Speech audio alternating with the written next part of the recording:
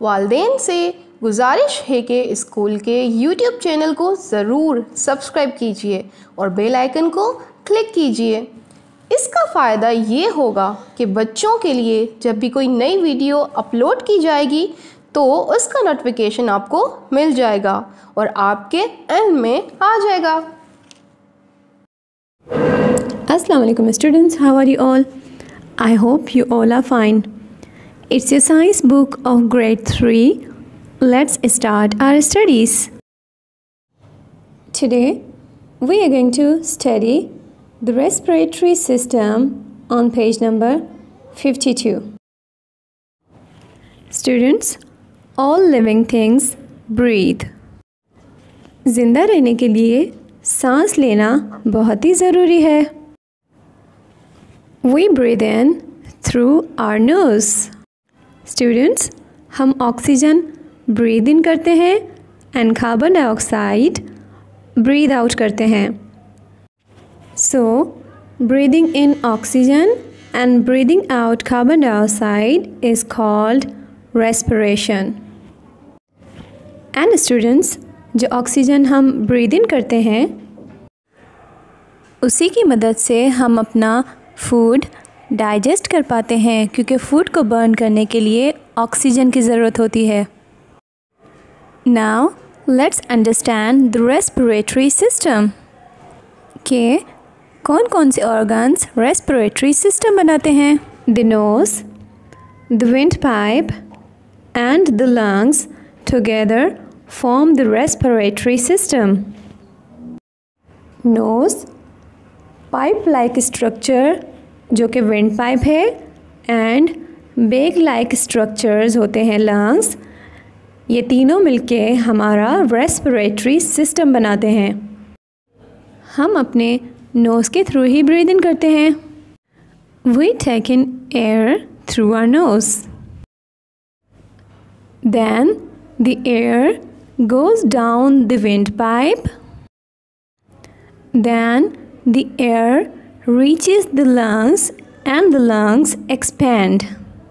पहले air nose के through windpipe तक जाती है दैन लंग्स तक पहुँचती है और हम ब्रीथ करते हैं। जब हम ब्रीद इन करते हैं तो हमारे लंग्स एक्सपेंड हो जाते हैं या बिग हो जाते हैं। और जब हम ब्रीद आउट करते हैं तो हमारे लंग्स कॉन्ट्रैक्ट होते हैं।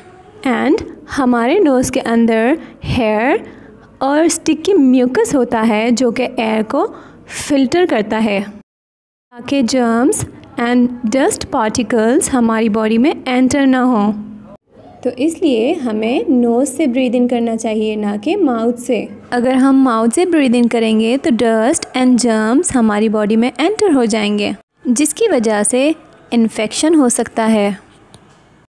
जो एयर हम ब्रीद इन करते हैं उसको इनहेल्ड एयर कहते हैं।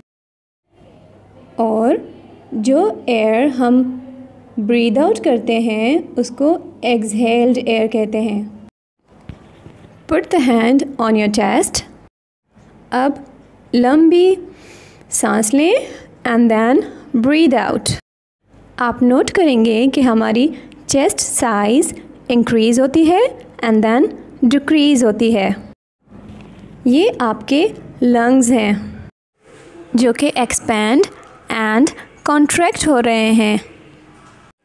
I hope you have understood our respiratory system now students it's time for your home task I am assigning you two questions to memorise question number one is what is the role of hair inside our nose And the answer is the hair inside our nose prevent dust particles from entering our body.